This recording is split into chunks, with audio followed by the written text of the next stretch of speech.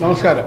ഞാൻ പ്രസന്നംപിള്ള കേരളത്തിലെ Nilambur M L A P V Anwar അനധികൃതമായി സമ്പാദിച്ചു കൂട്ടിയ ഭൂമി തിരിച്ചു പിടിക്കാൻ നിർദ്ദേശം നൽകിയ ഹൈക്കോടതി നിർദ്ദേശം പുല്ലുവില കൽപ്പിച്ച കേരള സർക്കാരിന് മുഖമടച്ച് ഹൈക്കോടതി പ്രഹരം നൽകിയിരിക്കുന്നു.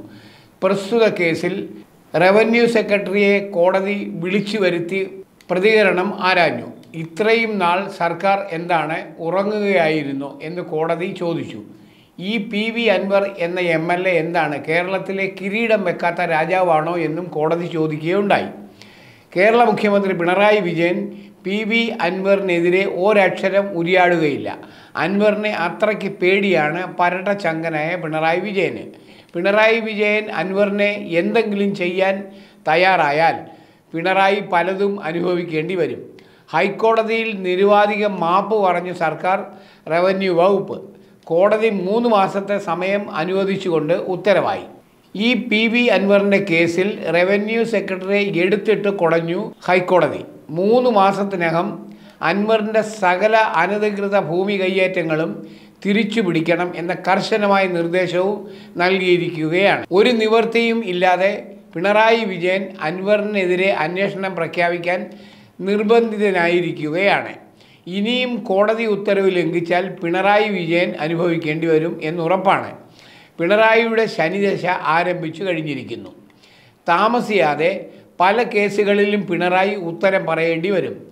സ്വർണക്കള്ളക്കടത്ത് കേസും ഡോളർ കടത്ത് കേസും ദുരിതാശ്വാസ നിധി ദുരുപയോഗ കേസും പിണറായിയെയും കൊണ്ടേ പോവുകയുള്ളൂ.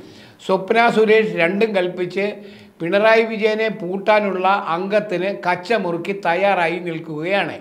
എന്തു വന്നാലും പിണറായി വിജയനെയും കുടുംബത്തെയും അഴിക്കുള്ളിലാക്കും എന്ന സ്വപ്ന ശപഥം ചെയ്തിരിക്കുകയാണ്. പിണറായി വിജയൻ എത്ര ശ്രമിച്ചാലും സ്വപ്ന പിന്മാറുന്ന ഒരു ലക്ഷണവും കാണുന്നില്ല. വ്യക്തമായ തെളിവുകളുടെ അടിസ്ഥാനത്തിലാണ് സ്വപ്ന സുരേഷ് പിണറായി വിജയനെ വെല്ലുവിളിച്ചിരിക്കുന്നത്. സ്വപ്നയുടെ ഈ ദൃഢമായ തെളിവുകൾ പിണറായിക്ക് പാരയായി തീരും എന്ന് നൂറ് ശതമാനം ഉറപ്പിക്കാം. C P M party secretary M V ഗോവിന്ദനും കൂട്ടരും പിണറായി വിജയനെ ഒതുക്കാനുള്ള തന്ത്രങ്ങൾ മെനയുകയാണ്.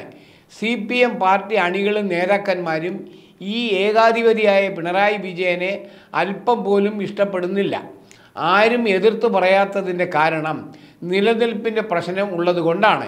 എതിർക്കുന്നവരെ കൊന്നു തല്ലാൻ കൊന്നു തള്ളാൻ പോലും മടിയില്ലാത്ത അസുരജന്മമാണ് പിണറായി വിജയൻ എന്ന ഏകാധിപതിയായ ഭരണാധികാരി.